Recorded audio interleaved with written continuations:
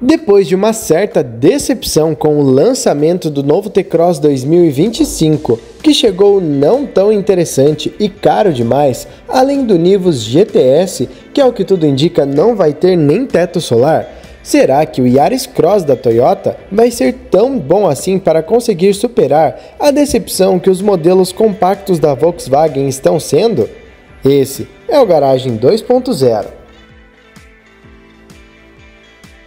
A montadora japonesa mais amada pelos brasileiros, a Toyota, depois de perder tantas vendas para marcas como Volkswagen, Hyundai, Jeep, entre várias outras, resolveu se mexer e finalmente trazer aqui para o Brasil uma opção de SUV compacto para se posicionar como um modelo de entrada em seu catálogo e disputar mercado com outros grandes players do segmento, como Chevrolet Tracker, Jeep Renegade, Fiat Fastback, entre muitos outros que têm emplacado extremamente bem por aqui.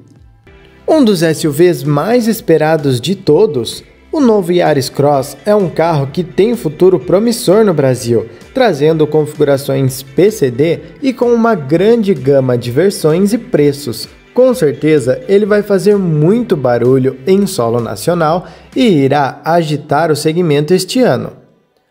O novo SUV japonês é feito sobre a plataforma DNGA, que é uma versão simplificada para modelos compactos e derivados da TNGA. TNGA, para quem não sabe, é onde é feito Corolla, Corolla Cross e outros carros de porte médio.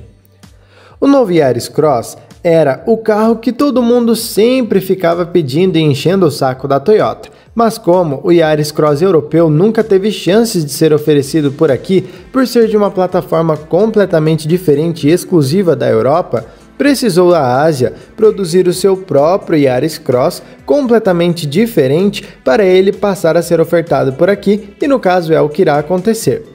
Vale ressaltar ainda que o novo Yaris Cross já está sendo testado no Brasil com camuflagem ainda pesada e ele chega este ano. Em dimensões, o modelo mede 4 metros e 31 centímetros de comprimento, 2 metros e 62 de entre-eixos, 1,77 de largura, 1,61 de altura, pesando até 1.238 quilos e acomodando bons 405 litros de bagagem no porta-malas.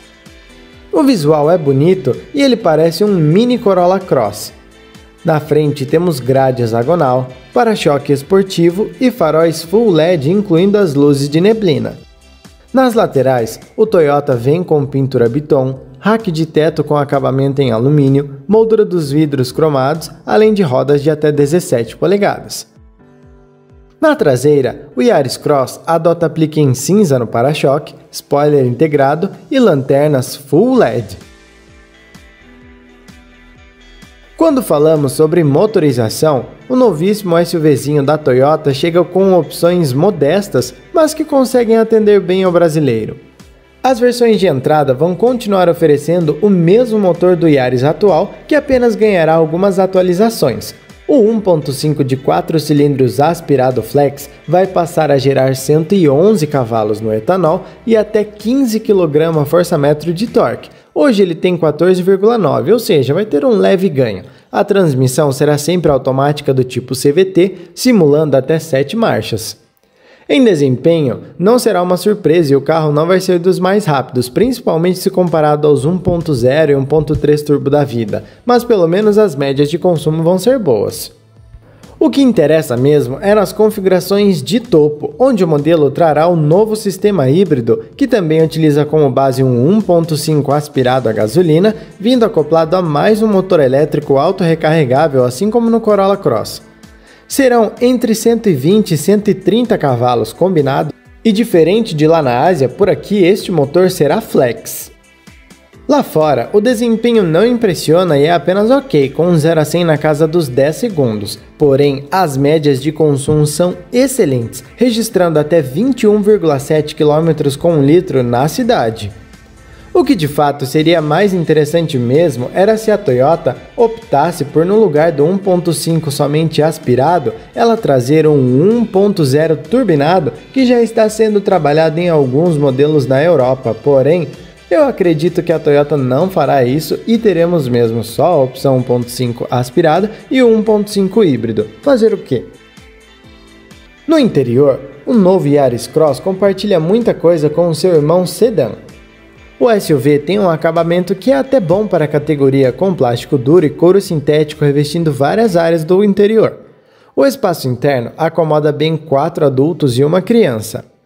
Em equipamentos, o carro é bem completo e temos painel digital configurável, volante multifuncional, carregamento de celulares por indução, luzes ambientes em LED configuráveis, chave presencial, climatização digital, porta-malas com abertura e fechamento elétricos com sensor de aproximação, freio de estacionamento eletrônico, auto-hold, seletor de modos de condução teto solar panorâmico, sistema de som premium da JBL, saídas de ar para o banco traseiro e muito mais. A central multimídia vem com uma tela de 9 polegadas flutuante e ela traz funções como câmera de ré, GPS nativo, além de conectividade sem fio para Apple CarPlay e Android Auto. Agora, galera, vou mostrar para vocês rapidinho duas novidades da Seven.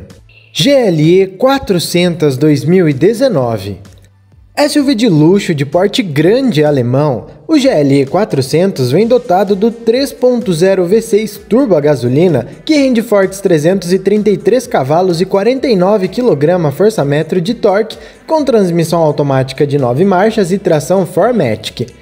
Alguns destaques do SUV disponível na Seven é a blindagem BSS com garantia, teto panorâmico, suspensão pneumática, enormes rodas de 21 polegadas e o conjunto ótico do carro que é Full LED. Ainda temos ACC e vários modos de condução.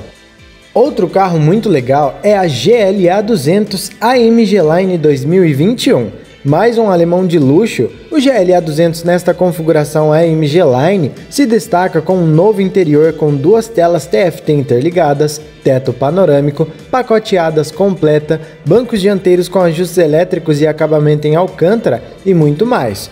Um motorzão 1.3 turbo de 163 cavalos e 25,5 kg de torque vem atrelados à transmissão automatizada de dupla embreagem e 7 marchas. Ela ainda conta com rodonas de 20 polegadas, todo o conjunto ótico Full LED, além de, claro, toda a segurança e luxo de um Mercedes-Benz.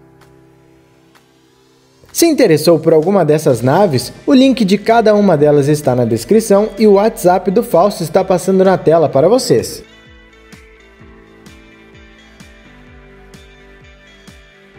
Agora falando um pouco sobre segurança, por mais que ele seja um compacto de um segmento de entrada, ele tem tudo que se possa imaginar e esperar de um carrinho desses. O novo SUV traz alerta de colisão, controles de tração e estabilidade, alerta de tráfego cruzado traseiro, 7 airbags, alerta de mudança de faixa involuntária, freios a disco com ABS, detector de animais, pedestres e ciclistas, frenagem para manobras, assistente de correção de faixa, comutação de farol alto automático e ACC dos mais completos, que no caso é o piloto automático adaptativo que traz a função ande para.